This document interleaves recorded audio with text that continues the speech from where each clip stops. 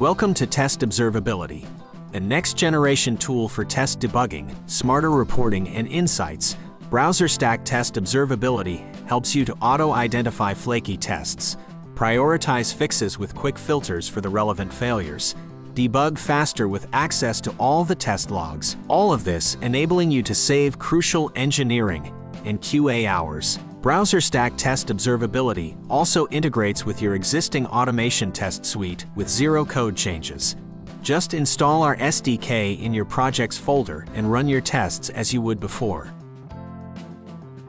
With the Build Insights view, you can get a quick but detailed understanding of everything that happened with your test runs as we automatically highlight tests that matter to you. Another approach that's unique to test observability is the ability for you to debug by errors, not just tests.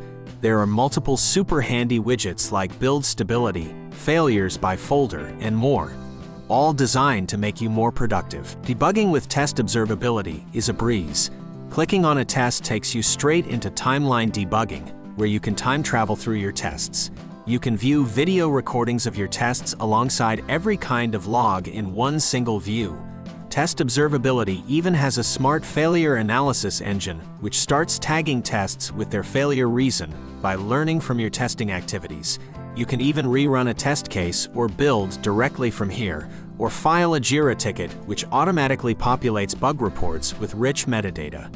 With testing trends, you can see the evolution of key testing metrics and parameters over time. From flakiness to unique test cases to browser coverage, this dashboard has you covered. With the Suite Health view, you can understand which tests are failing the most and across which platforms, so you know which parts of your test suite or application need addressing.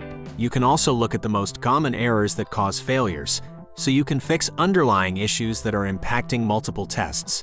And that's a quick overview of test observability. Happy testing!